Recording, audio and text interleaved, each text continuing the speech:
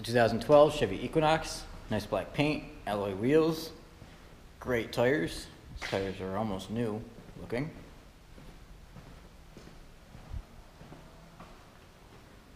Walk around to the back here.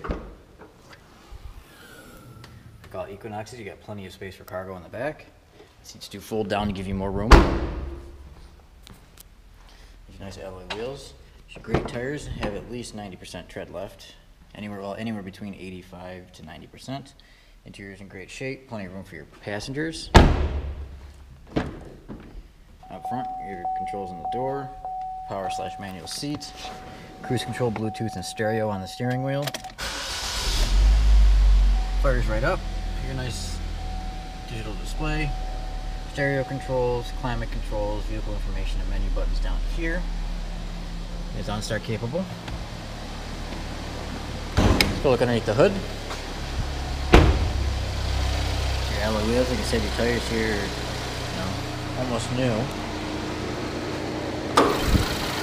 And under the hood's a 2.4 liter. They're nice and strong, great on gas, and plenty of power. It's a 2012 Chevy Equinox.